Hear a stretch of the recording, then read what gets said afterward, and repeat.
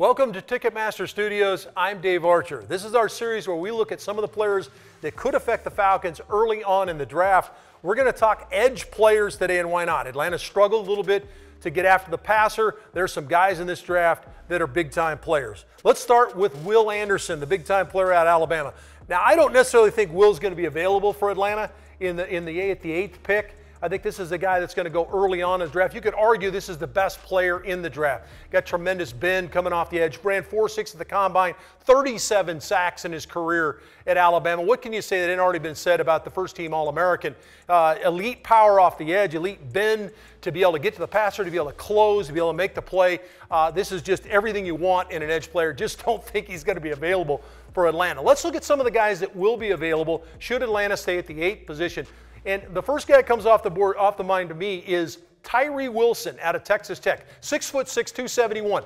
Bigger edge player, right? Ran 475 at the combine, which is outstanding as a big player. Seven foot two wingspan. Now, this causes major problems because his ability to lock his arms out, keep people off him, especially blockers on the edge, his ability to lock out tackles, make whatever move he needs to make, and then his ability to close is outstanding. We talked about the 475, his ability to get to the quarterback. How about that wingspan, being able to block the ball on passes out to the edge? He can defend the run equally as well. Tyree Wilson out of Texas Tech. Moving to our next player, Lucas Van Ness out of Iowa. This is a guy that we don't know a ton about yet. I mean, this is a guy that didn't play a ton at Iowa, certainly didn't start at Iowa. He started off playing some of the interior. He's a redshirt sophomore. He had a lot of success in 2021 as an interior rusher. You see, get him getting after the passer there from that three technique position in the interior. That's what's cool about him is his versatility. He's six foot five, 272 pounds. He ran 4.58 at the combine, so great closing speed.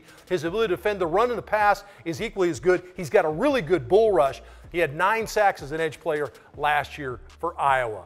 As we move along in our edge rush analogy, here's a guy that I think a lot of people know, right? Nolan Smith, different size player, right? We had the 270 pound guy. Now we slide down to a guy that's 240 pounds. And this is a guy that is off the charts from a human being standpoint. Everything we've been able to gather uh, about Nolan Smith, he's a local product. Savannah, Savannah, Georgia, a kid that can play linebacker. He can play interior. We saw him even make plays from a three technique in this Georgia defense. But what you see about him is the instincts, the ability to play the run there. Seeing zone read, takes the back, then takes the quarterback. His ability to knife to the inside with his outstanding first quick step. Uh, just amazing. Nolan Smith has some serious talents uh, at that edge position. Here you see him against Clemson making a play on the quarterback. So a guy that could be there, Nolan Smith, no question about it. Myles Murphy, we just talked about Clemson. Here's Myles Murphy. Now this is a guy that in between the 275 pound guys and the 240 pound guys is the 258 pound or 255 pound Myles Murphy. Now, what you're going to see about this is he got really good hands to swat the hands of the tackle off. Closing speed is there, which you need. A lot of strength, 225 pounds in, in, the bench press. This is a guy that can throw people off him, and then you see the closing speed of Murphy to be able to get home, get the quarterback on the ground.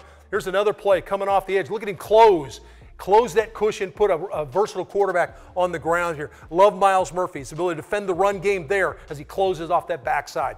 So those are some of the guys that could go in the first round. Let's look at some guys, if you don't go edge, let's look at some of the guys that may still be there. This is one of the deepest positions in the draft. Will McDonald at Iowa State, all-time leading sacker. B.J. Ojulari and uh, Derick Hall, two guys out of the SEC you've seen a lot of you if you watch football down here in the South. How about Andre Carter out of Army? 15 and a half sacks two seasons ago as a cadet at Army. And then, of course, Isaiah Foskey at Notre Dame. This is, these are guys that are going to go in the second round now. So we talked about five. Here's five more. We didn't mention Keion White, the guy at, at, at uh, Georgia Tech, another guy that potentially could be. This is a deep group. Get ready. Atlanta's going to have an opportunity to find a guy that'll help this group. Arnold Ebiketie, and you got D'Angelo Malone, Lorenzo Carter. Add a couple of these guys or a guy like this. Wow.